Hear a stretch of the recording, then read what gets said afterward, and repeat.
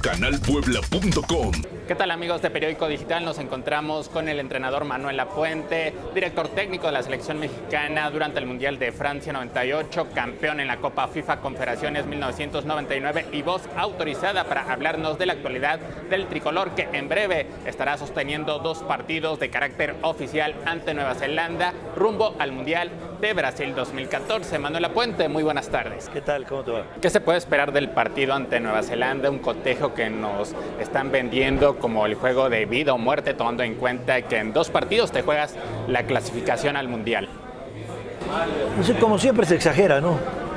Y si es de vida y muerte. Pero no es un equipo mortal. Lo que no veo claro es lo que se está diciendo. Es que en el Azteca tenemos que imponernos y tenemos que golearlos. No se puede hablar así del fútbol es una ignorancia y una falta de respeto.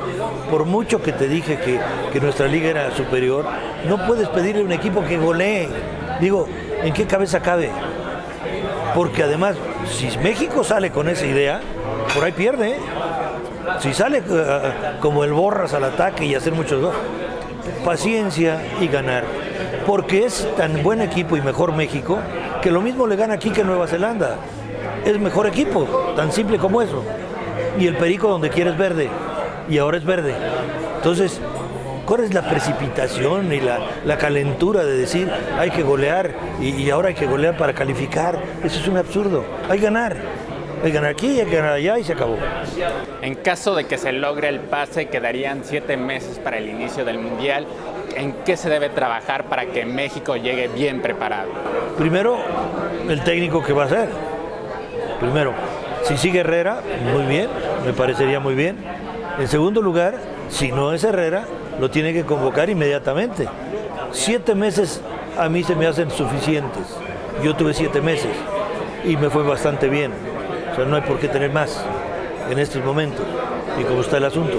Pero si es el piojo, qué bueno, qué mejor.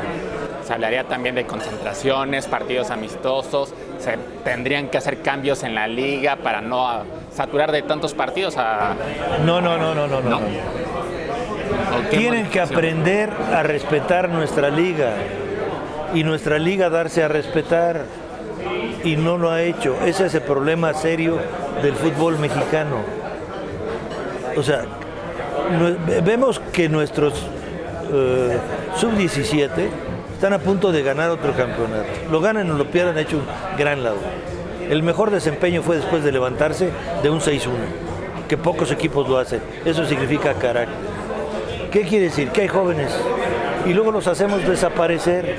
Y una vez más, insisto, ¿cómo es posible que siga habiendo cinco extranjeros por equipo?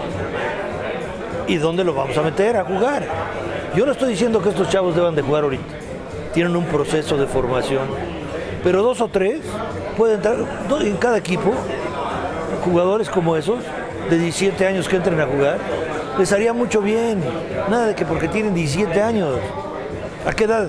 En ese entonces debutó Pelé a los 17 años, en una selección ¿eh? mayor. Entonces, ¿qué es lo que hace falta? Cabida. Y sigue, seguimos. Eso, nadie se ocupa. Es más, nadie lo menciona. Y son, serían, si nosotros tuviéramos tres extranjeros nada más, serían dos de cabeza jóvenes mexicanos, porque estos crecieron, la sub-20, la sub-20 desaparecen. ¿Por qué? Porque no se les da cabida.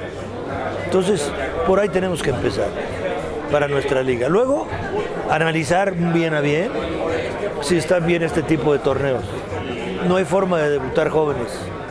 Este tipo de torneos no es lo mejor. Estoy hablando para el deporte, para la televisión no sé, para el deporte no, no lo es. Entonces, pues, hay que poner los pies en la tierra y empezar otra vez con nuestra Liga MX, pero poniendo los pies en la tierra y siendo firmes en lo que queremos. Ya tocaba el tema, ¿qué opinión le merece la sub-17, campeón en 2005, campeón en 2011, finalista en 2013? ¿Por qué hay tanto éxito en la selección infantil? Porque hay buen trabajo, eso sí ha habido. O sea, el trabajo que se ha hecho desde, desde la sub-17, con la sub-17, la sub-20, la sub-23, todos esos, se ha hecho muy buen trabajo. Por ejemplo, no se me olvida, cuando estaba yo en el América, era todavía un chavo Diego Reyes, yo lo metía de medio, pero está jugando, y ya llegó con 62 partidos internacionales.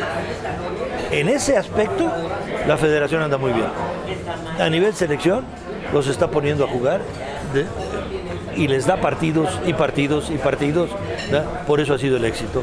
O sea, yo creo que, que ese proceso ha sido muy bien dirigido por los federativos.